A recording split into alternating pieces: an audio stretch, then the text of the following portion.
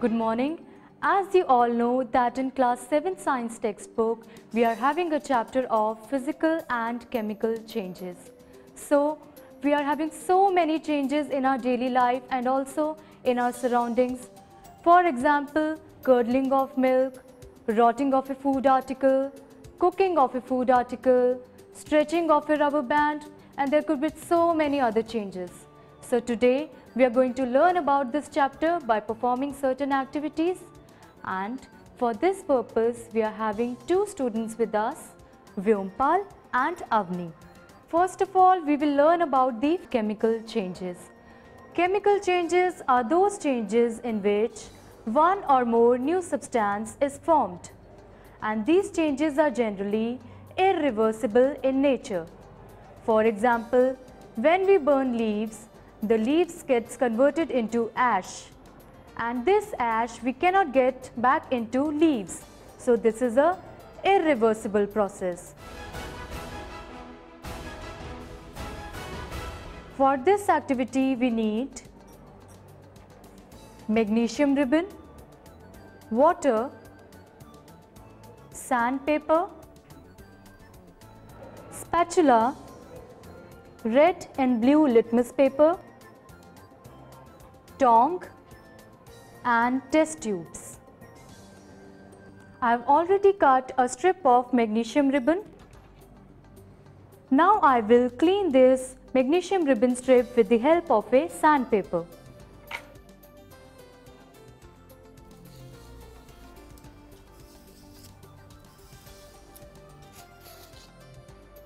Now that we have cleaned this ribbon strip, now we need to burn a candle by using a matchstick.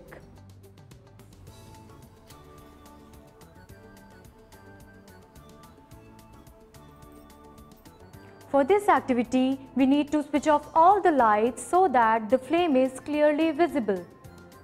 We will hold this magnesium ribbon strip with the help of a tong.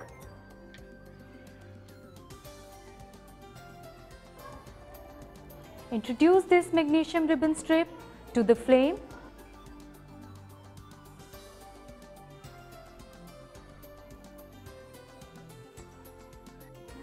Ma'am, we can see that white light is coming out. Yes, when a magnesium ribbon strip burns, it burns with a brilliant white light.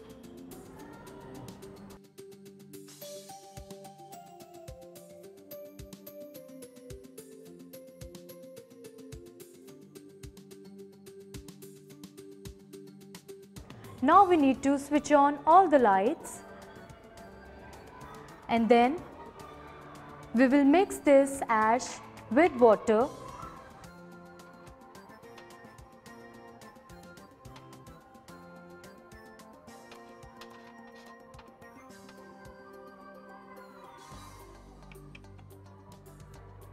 Mix it with the help of a glass rod.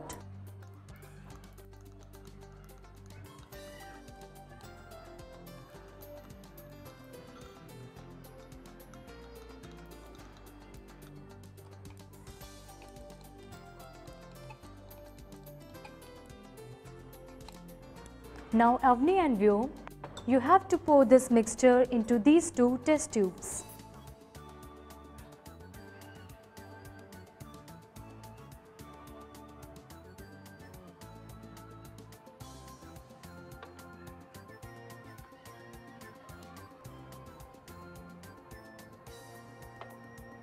Now what you have to do is, you have to test this solution with the blue and red litmus paper for its acidic and basic nature.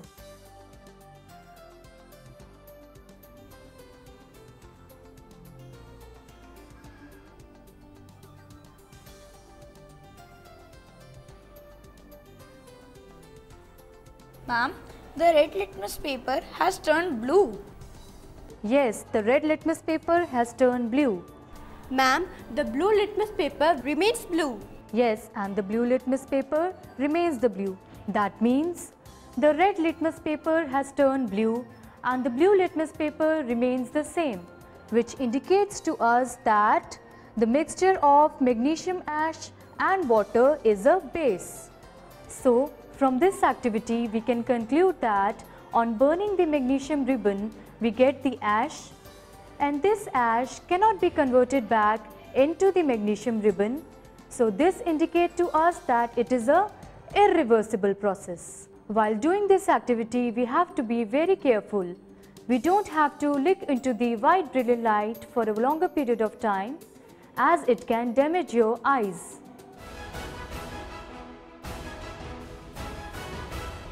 Now we are going to do another activity of a chemical change.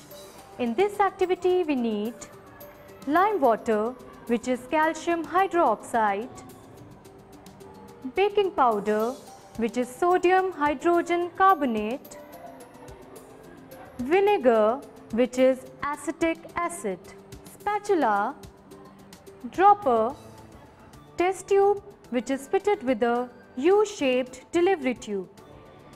Instead of this, we can also use two separate test tubes and a delivery tube which is fitted with corks.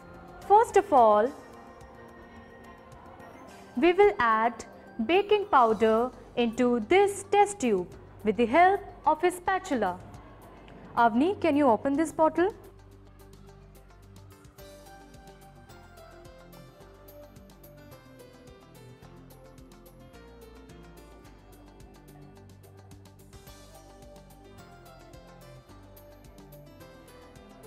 Now I will add lime water into this delivery tube with the help of a dropper.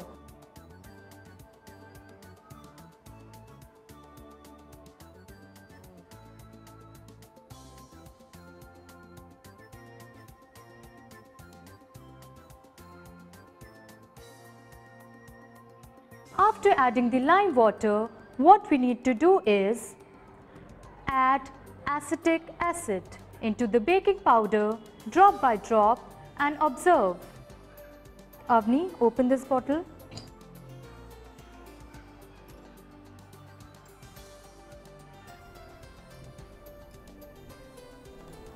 Ma'am, I can see some bubbles coming out. Yes, and these bubbles are of carbon dioxide gas. Let the carbon dioxide gas pass into the U-tube to the lime water. Ma'am, the lime water is turning milky. Yes, lime water will start becoming milky. Keep on adding the acetic acid drop by drop and observe.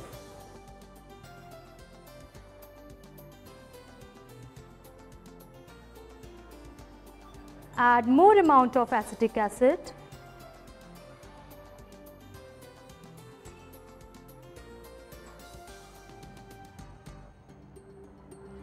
Add more amount of acetic acid.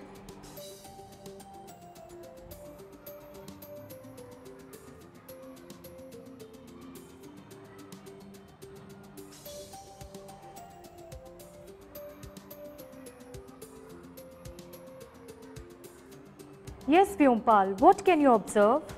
Ma'am, the lime water has become milky. Yes, on passing the carbon dioxide gas into the lime water, it turns lime water milky.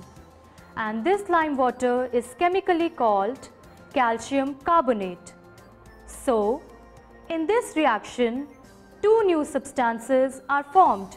Avni, can you tell me what are these two new substances? Carbon dioxide gas and calcium carbonate. Yes, in this reaction, two new products formed are carbon dioxide gas and calcium carbonate.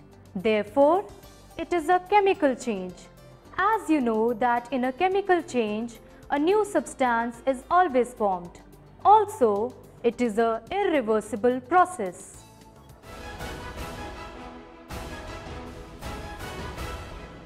Now we are going to do another activity of a physical change that is crystallization. When large crystals of pure substances are formed from their solutions, that process is called crystallization. The common salt which we use in our homes is an example of this process. For this activity we need beaker, dilute sulfuric acid, water, copper sulfate powder, matchstick, tripod stand, china dish, filter paper, dropper, glass rod, spatula, funnel, wire gauge and a burner. Here, first of all, we need to make a saturated solution of copper sulfate. But ma'am, what is a saturated solution? Saturated solution is the one in which a stage is reached when no more solute can be dissolved in a solvent at a particular temperature to make a solution. Ma'am, what is solute? A solute is a substance that is dissolved in a solvent to make a solution. First of all, add some water into this beaker.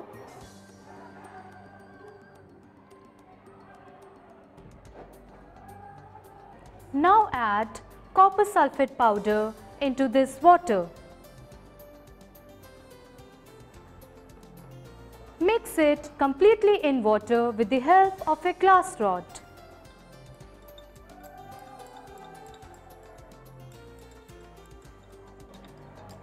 Keep on mixing the copper sulfate powder until all the crystal of copper sulfate disappears. Now add some more amount of copper sulfate powder.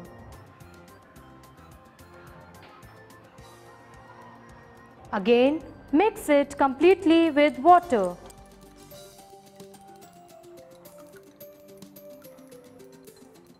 Again add some more amount of copper sulfate powder and mix it completely with water.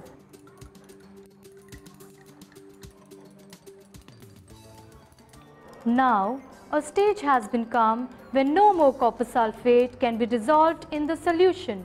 Ma'am, it means that saturated solution has been formed. Yes, at this point saturated solution has been formed. Now, we need to filter this saturated solution by using a funnel and a filter paper. Ma'am, why we need to filter this solution? We need to filter the solution because on filtering the solution, all the unwanted impurities are removed from it. First of all, you need to take a filter paper and form a cone out of it. Fold it into two equal halves like this. Fold it from the center. In this way, cone is made. I have already inserted this filter paper in the funnel. Now we will filter this solution in a china dish. Take a china dish, place a funnel over it and add the saturated solution into the funnel. The solution will come out drop by drop.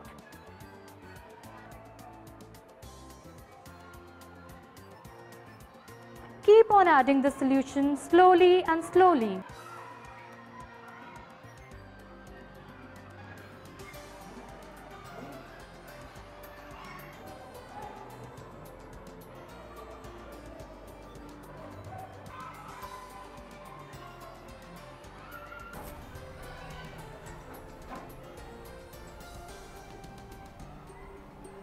Now we have filtered the saturated solution. After this, add a few drops of dilute sulfuric acid into the filtered solution.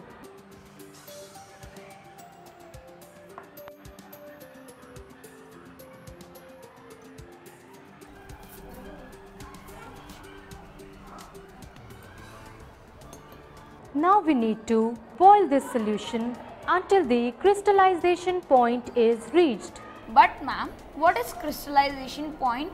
Crystallization point is a point when the crystals of copper sulfate just begins to be formed. Now, first of all, light this burner by using a matchstick. Place a tripod stand over the flame. like this. Now place a wire gauze over it. Now place this china dish over the flame and let it boil until the crystallization point is reached.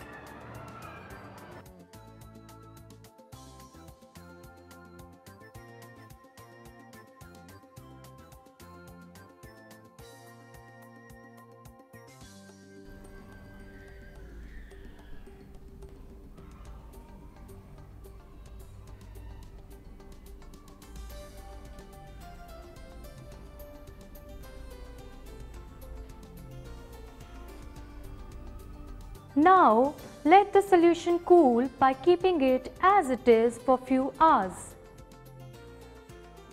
Now the solution has been cooled and crystals are made. Avni, what can you observe? Ma'am, I can see some crystals. Yes, on cooling the crystals of copper sulfate are formed and this is a physical process because in this state is changing from liquid that is the saturated solution of copper sulfate to a solid that is the crystals of copper sulfate. You have to take certain precautions while doing this activity. First of all, always use dilute sulfuric acid and not the concentrated one. Secondly, be careful while handling the flame. Try to do this activity in front of a teacher or an adult.